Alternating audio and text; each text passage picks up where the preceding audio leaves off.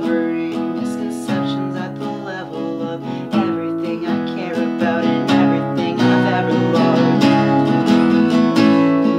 But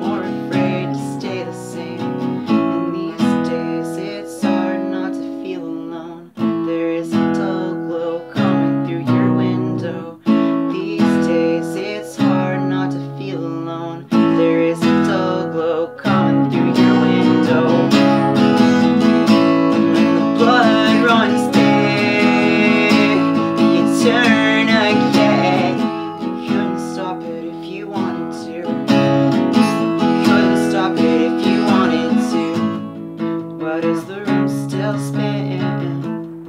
the very mention of your name.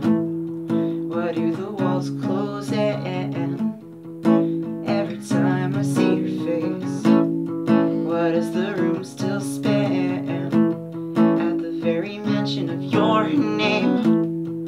Why do the walls close in?